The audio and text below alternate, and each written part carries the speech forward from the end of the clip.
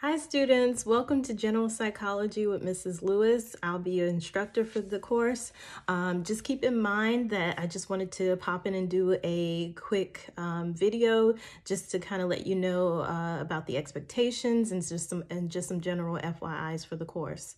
All right, so this is an eight week course, um, so that means it will go by very quickly.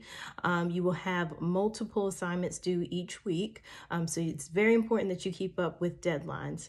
Um, so first things first for the course, make sure that you complete the course entry quiz, which is in the um, left tab in Blackboard. It says course entry quiz. That's the first thing you will need to do before you get into anything else.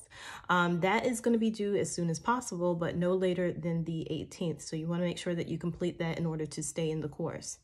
Um, then once you complete the course intro quiz, um, the lesson one week um, will be available to you and you can, you have specific to-do lists, you have uh, videos, PowerPoints, readings, things like that to do in the weekly um, folder. Now these weekly folders will open up each Sunday. So once the week is done, um, every Sunday something will be the uh, assignments will be due and then next week uh, the next week's folder will open up all right so just kind of keep that in mind as well. All right, so you have a course schedule in the at the end of the syllabus. Please utilize that course schedule. It has all the due dates, all the assignments that are going to be due. Um, and again, you'll also see that in the weekly folders.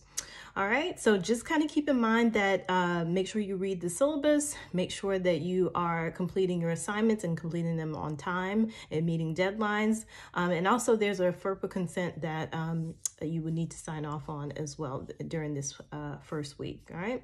So it's a lot to, to uh, get into, and of course, you'll learn a lot more about what the course requires once you delve into the material. So if you have any other questions or concerns, please feel free to email me.